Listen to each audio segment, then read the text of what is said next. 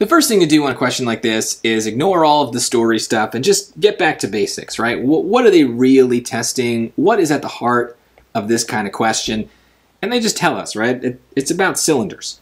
So we need to start with that. And luckily, if we go back to the first page of this section with all the formulas, we know that we do not need to memorize the formula for a cylinder because it is given to us, right? The volume of a cylinder is pi r squared h. Don't do anything else before you just write down that information on your page. Get it out there. Why keep it in your head?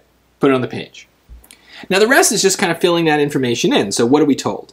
Uh, okay, the cylindrical can containing pieces of fruit is filled to the top with syrup before being sealed. The base of the can has an area of 75 centimeters square. That's kind of weird. And the height of the can is 10 centimeters. So, okay, 10 centimeters, that can go right here. Um, if 110 centimeters cubed of syrup is needed to fill the can to the top, which of the following is closest to the total volume of the pieces of fruit in the can? So notice what we have here. We're, we're being asked for the volume of the fruit, and then we have this other volume of syrup. This confuses people. Basically, we're just, it doesn't matter that the fruit is irregularly shaped. It doesn't matter that the syrup is a liquid. It, it all adds together to get the volume of the can, is the point.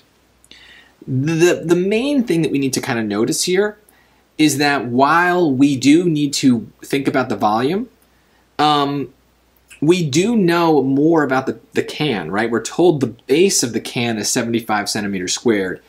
That means that the area of the bottom is 75. And what is what shape is the bottom? Right? It's it's a circle. So they're telling us that the circle area is 75. Now, I know that that doesn't seem like it's built into the formula, right? Because we, we, we, need the radius. That's what the R stands for. But we don't need to work backwards to find it because pi r squared h, or pi r squared without the h, is just the area of a circle. So they're still dealing with the normal cylinder stuff. They're just kind of presenting the information in a strange way. But basically, we can substitute that 75 for the pi r squared as a whole. So the pi is kind of just going to disappear, which is good for us because we don't really don't really like working with that. So there's my substitution. And that's going to tell me the volume of the can, which is just 750 cubic centimeters. Okay, great. But 110 of that is syrup. So if this is the can, and we took out the syrup, syrup, syrup, see I'm switching the pronunciation, that would be 640 cubic centimeters for just the fruit. So again, we're not like trying to calculate the exact dimensions of the fruit or anything like that. It the way that these liquid questions work is it's kind of just about subtraction, right? It's almost like the equivalent of like a shaded area problem, but now we're in three dimensions. And so if we take out the, this volume that we don't want, we're going to be left with the volume that we do want. Doesn't matter if it's irregularly shaped. It's just how this works. Um, so yeah, there's a bunch of twists, and I think that that's expected. We're question 23. We're in hard territory, and so the cylinder formula is pretty basic.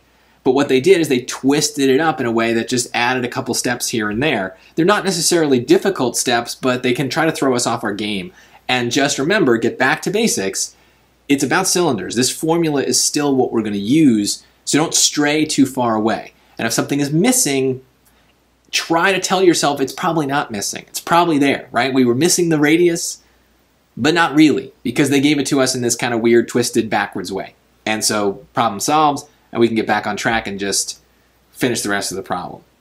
That's how they make things hard sometimes. They just take something normal, twist it up, and make it hard to recognize. Trust yourself, trust the formulas. You know what you're doing.